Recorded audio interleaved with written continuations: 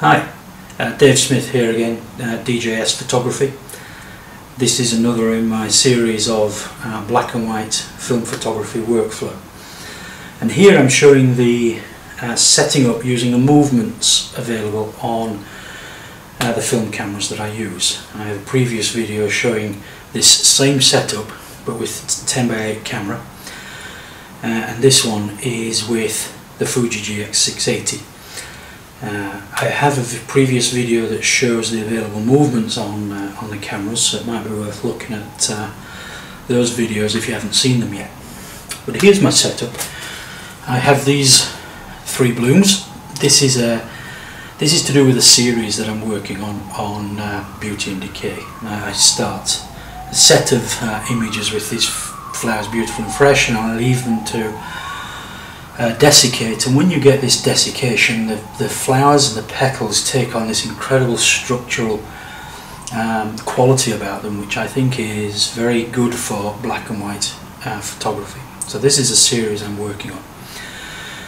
Now in order to ensure that we get sharpest focus and maximum depth of field with a, with a standard 35mm camera or most medium format cameras what you would if you wanted this view uh, you could always bring your camera around here and focus normally, but that, of course, is a different uh, image.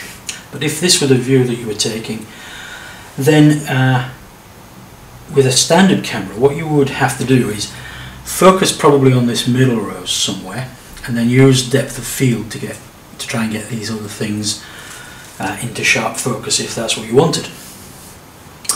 But the beauty of cameras with the sorts of movements that the 10x8 or this Fuji GX680 has is that we can choose the view that we want and then uh, manipulate the planes to get the thing in sharp focus. Now when we focus, whether it's with a, a standard 35mm camera or a, a view camera, 10x8 camera, we're relying on a principle called the Scheimpflug principle, which sounds pretty daunting, but Really it's not, there's not a, a massive amount to it. It is in two parts. And the first part says that if we have the subject plane, that's that the, here, this is my subject plane, I want all of these things in focus and that's the plane along which they lie. If we have the subject plane, the lens plane and the image plane all parallel to each other, then uh, we can get we can get them all in focus just by moving the lens and that's that's what we, we would um, be reduced to if we had a standard 35 mm we'd shoot from this angle or we'd rely upon depth of field. Now depth of field isn't always going to work for you. Um, maybe the light is low and you need to open the uh, aperture right up. Maybe it's a landscape and you can't get a sufficient depth of field. And that's where these cameras really come into their own because the second part of the Scheimpflug principle tells us that if those three planes are not parallel, as these aren't, I've deliberately chosen this not to be, then what we want to do is to get the subject plane, the lens plane and the image plane so that they will those planes will meet at a point. If we can get that to happen, then we can get maximum depth of field. We can get the three things into focus. Okay, so and that's what I've done in my setup here. I'm just going to try and uh, illustrate that to you uh, here. So let me get uh, this piece of card. This card will show you. There's the plane for uh, my subject, and that stretches out in this direction. I've already uh, organised my lens plane, so my lens is not flat to those. I've turned it like so. So you can see if I come out to here and there's my subject plane. They're going to meet somewhere about here. Now here's where the tricky bit comes because I need all three planes to meet at that point. And when I use the 8x10 camera that's very fine because I have got uh, swing on the back of, a, of the 8x10 camera. So I can swing the back on the camera to get the image plane to come to a point with these other two I have to cheat a little bit with the 680 and what I've actually done with the 680 is just very slightly adjusted the angle at which I'm looking at these and it is very slight because here is my image plane. And again, that's not square on. I've, I've turned the whole camera very slightly. So my image plane, my image plane now comes out here. My lens plane is here, and my subject plane is there. They all meet at a point around here. So they are indeed all in focus. Now I can't very easily show you that with the camera on the ground glass, so I'm hoping you'll take my word for it. Uh, but they are. So that's the that's the Scheimpflug principle, and that's one of the powers of, uh, of this device here. Now, it's not always the case that you want everything in focus, and one of the, one of the really creative aspects of taking uh, images is, n is not just uh, selective focus, about choosing where your focus is going to be and then sending everything else out of focus. And we all have heard the buzz phrase about bokeh in the last few years.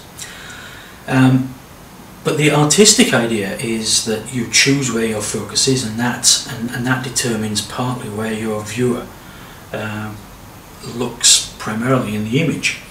I also like to do that, in, uh, as it turns out, with uh, with light. I, I like to uh, light the main focus of my image a little bit more than the surroundings, so, so my image pops out of the darkness, as it were which we can do the same thing with uh, with focus. So we don't have to we don't have to have a situation where we arrange these planes so that everything is in sharp focus front to back. What we could do is uh, is imagine to ourselves that actually our subject plane is along here, okay, and then turn this lens exact in in the opposite swing to meet with that subject plane.